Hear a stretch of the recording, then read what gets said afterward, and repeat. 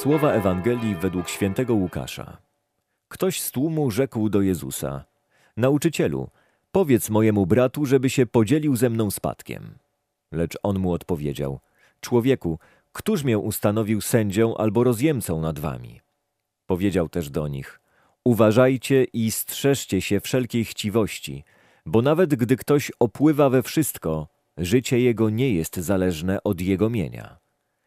I opowiedział im przypowieść. Pewnemu zamożnemu człowiekowi dobrze obrodziło pole i rozważał sam w sobie, co tu począć.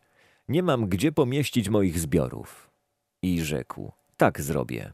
Zburzę moje spichlerze, a pobuduję większe i tam zgromadzę całe zboże i moje dobra. I powiem sobie, masz wielkie zasoby dóbr, na długie lata złożone. Odpoczywaj, jedz, pij i używaj. Lecz Bóg rzekł do niego, głupcze, jeszcze tej nocy zażądają twojej duszy od ciebie. Komu więc przypadnie to, coś przygotował? Tak dzieje się z każdym, kto skarby gromadzi dla siebie, a nie jest bogaty przed Bogiem. Strzeżcie się wszelkich chciwości, wzywa nas Jezus w dzisiejszej Ewangelii.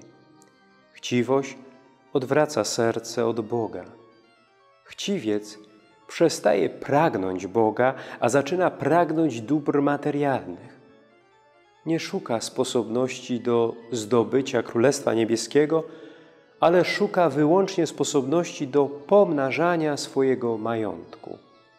Chociaż chciwość zasadniczo dotyczy rzeczy materialnych, to zdarza się również chciwość w wymiarze duchowym, jako chęć uznania, poklasku czy nawet władzy nad ludźmi.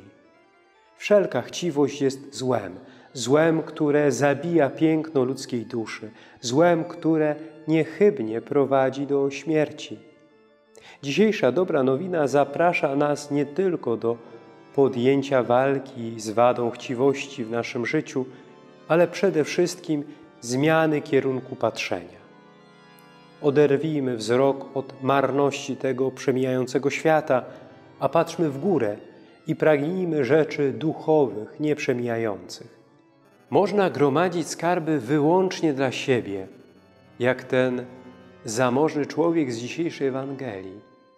Ale trzeba nam pamiętać, że każdy, kto pokłada ufność w dobrach materialnych, przeminie tak samo, jak one przemijają. Wieczne są tylko dobra duchowe. Kto gromadzi skarby w niebie, ten ma zapewnioną egzystencję wiecznej szczęśliwości.